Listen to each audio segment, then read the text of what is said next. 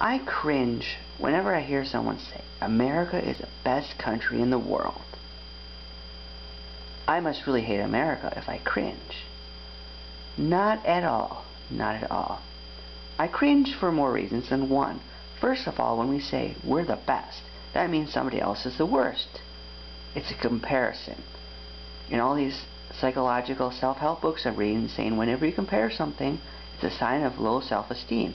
Indeed, many of these arch nationalists do have low self-esteem. They want to compare themselves. Also, in what sense do we say we're better? We have more freedom. It is true we do have more freedom than other people. So in that sense, we could be considered better. Are we more wise? Oh no, definitely not. I've been abroad and I see this. Are we more considerate? Are we more spiritually advanced? In what criteria are we the best?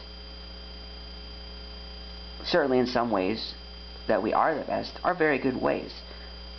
The U.S. Constitution, the Bill of Rights, one of the greatest documents in history. I don't have to say America is the absolute best country in the world to realize I have a lot to be thankful for. You can be thankful for America without thinking you're better than other people. How does that make them feel? If America's the best, then they suck. They're the worst because they live in another country. I have been abroad, including visiting some of the very poorest places on earth.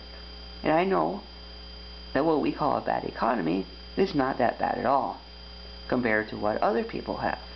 I still don't think we're better.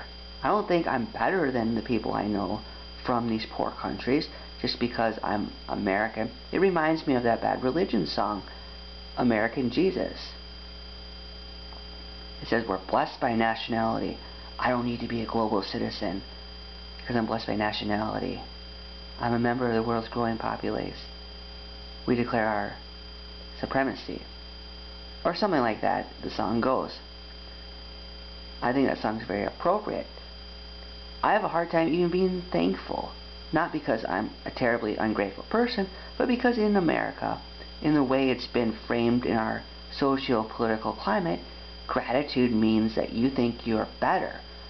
A lot of the people who scream and yell that we're better because we're Americans say you need to be thankful for American America's glory aren't very thankful. They complain just as much as anyone else when things don't go their way. So it's just a facade. It's not true gratitude. True gratitude comes when you are thankful for thankful sake, not because you think you're better than someone.